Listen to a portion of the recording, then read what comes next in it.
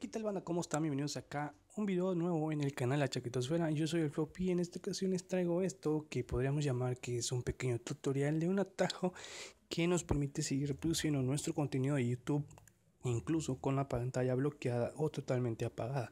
Para poder hacer esto necesitamos dos herramientas, Google Chrome y la aplicación oficial de YouTube. La aplicación oficial de YouTube no es tan obligatoria, pero nos hará más fácil este procedimiento, ¿ok?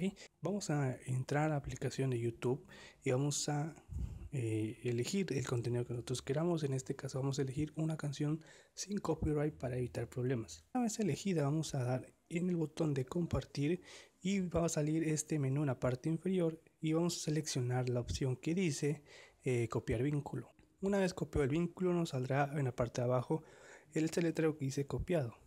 Una vez esto vamos a salir de la aplicación de YouTube y vamos a ir directamente a Google Chrome. Una vez en Google Chrome vamos a pegar en la parte de arriba de nuestro buscador y entonces empezará a cargar.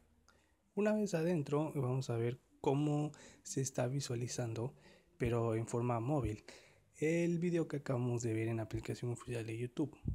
Ahora lo que vamos a hacer es vamos a ir a los tres puntos de la esquina de nuestro Google Chrome vamos a seleccionar la opción que dice solicitar modo escritorio. Va a volver a cargar la página, pero ahora se va a ver de una forma muy similar a lo que veríamos en nuestras computadoras. Vamos a empezar a reproducir el video, ok, hay que asegurarnos de que se esté reproduciendo. Y una vez que ya se esté reproduciendo, vamos a bloquear nuestro dispositivo.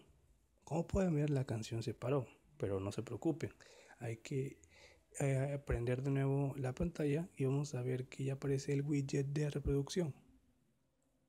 Vamos a seleccionar play y se va a empezar a reproducir el, la canción incluso con nuestra pantalla bloqueada. Para vamos a pero aún hay más. Vamos a apagar la pantalla y podemos ver que la canción se sigue reproduciendo incluso con nuestra pantalla totalmente apagada. Bueno banda, espero les haya gustado este video. Recuerden yo soy el Floppy, esta es la chaquetosfera. Hasta la próxima.